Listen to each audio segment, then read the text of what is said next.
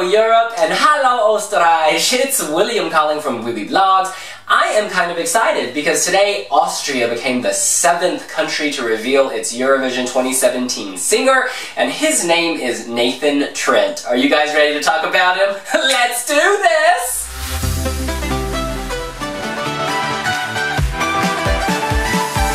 Yes, Nathan is the seventh artist to be revealed for Eurovision 2017, and he is also the third male solo act. He is bringing another sausage, I know, verse to the party. But the question is, haben wir Hunger? Do we want to eat that? Well, to help us decide, wiwiblogger Robin has done a quick post on wiwibloggs, and she tells us that he is a 24-year-old newcomer ORF decided to select internally this year, and they handed the reins over to a panel of musicians, including...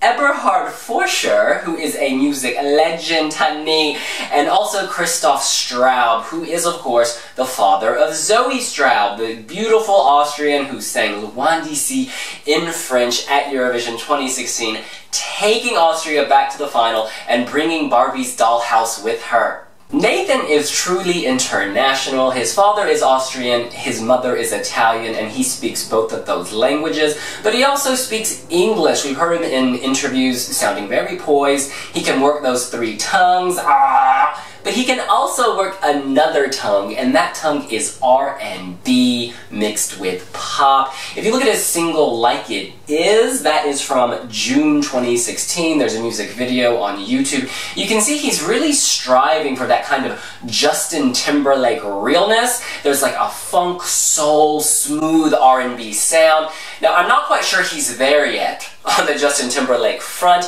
I mean, at times this comes off a little cheesy and a little dated, but the, the, the, important point is that his voice is strong. That's the key ingredient. He can work on production, he can work on the songwriting with the team at ORF. So, you know, this isn't a disaster. If anything, this shows that he's an upstart, he's ambitious, he's, making, he's out there making music videos, and it sounds okay. But if you're not feeling that song, don't worry. His back catalog is more extensive than that alone. Way back in 2003, he competed on the Austrian children's talent show called Kiddie Contest, and he sang the song Fußball, an upbeat ode to football. You guys, even then he was serving that swagger. He gave Major kind of adorable brace face realness. He was bobbing in place, doing his thing. He came ninth. But the important point is this kind of kick-started his passion to write songs. He's been writing songs since he was 11, so he has a lot of experience. Honey! And y'all, we gotta address the pink elephant in the room. Dude has a beard, just like the last Austrian Eurovision winner, Miss Conchita Wurst, honey! Now, you may recognize his face. That is because he was one of the 33 shortlisted acts in Germany's national selection Unser Song. Um, obviously, he submitted his bid for Unser Song before striking and then finalizing a deal with ORF. So, needless to say, he will be withdrawing from the German national selection, taking them down to 32 we would be remiss not to discuss a secret from his past, a bit of a cringe-worthy one that's not publicized too much. Back in 2011, he competed on German X Factor. After his audition, the judges did that thing where they paired him with another contestant, and they formed the group Boys II Hot. Yes, Boys One Too Hot. Now, y'all, I gotta say, I just googled that on YouTube and let me tell you, a lot of not safe for work over 18 inappropriate videos come up, so you might want to put your safe search on. But once you do, you will see this performance. You know, they were eliminated in the first week and for good reason.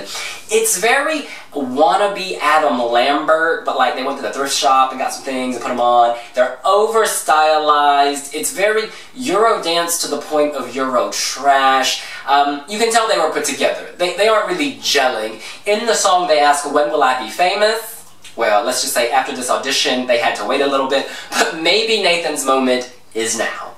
Now, many of our readers are very optimistic at the prospect of Nathan Trent and him writing his own songs. Dave, that's with two V's, writes, We have a potential frontrunner here. Good for you, Austria. Thomas adds, I think he is one to do well. Austria is not messing this year. And ESCAU is drawing some very big comparisons. She says, interesting voice. His music video reminds me of Laura or Used or the Chainsmokers. I'm very excited for something fresh.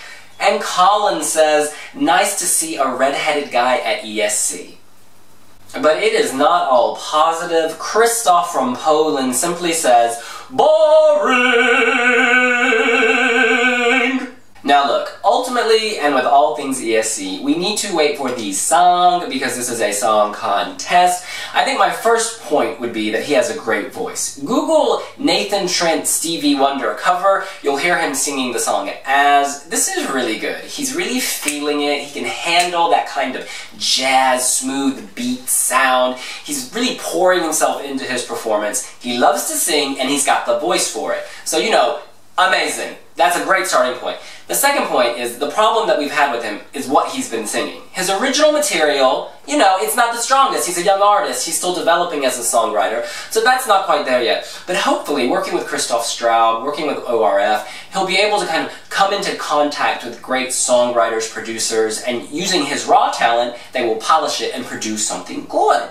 Yeah? Yeah, let's hope. In any case, that's what I think. What do you think? Are you feeling Nathan Trent? Do you think that he can build on Zoe's amazing performance last year? Do you think that Zoe's dad is going to be able to influence him? Let us know here on wiwibloggs. Before I say goodbye, I just want to say happy holidays. Rudolph, he is shaking his eyes. Honey, he has his red nose out.